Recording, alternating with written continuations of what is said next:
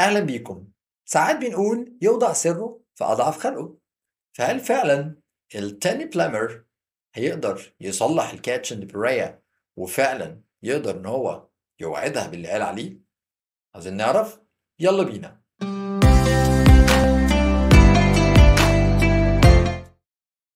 أهلا بيكم في الحلقة ال11 من The Narrator. يلا بينا نشوف برايا هتعمل إيه and what's gonna happen next. Let's go. The Time Travel Plumber Part 4 He pulled out a tin wrench from his toolbox and crawled under the sink.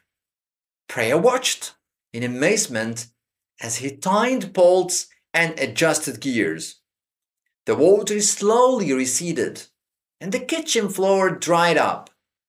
Now, Fred said, emerging from under the sink, your kitchen is back to normal. But there is one catch. What do you think is a catch? Now it's your time. Listen and repeat. اسمع وكرر معايا.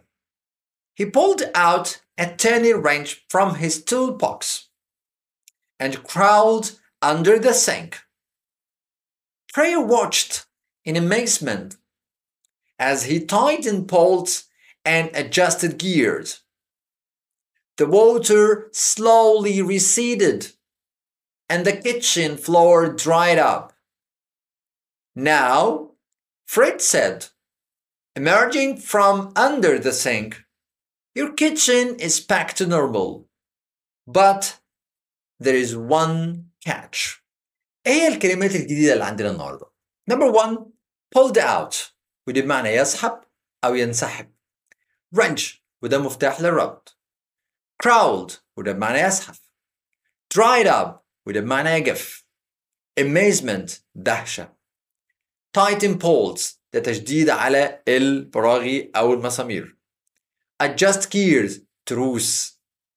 recedes انحصرت. emerging from comes from أو الصادرة من مكان ما.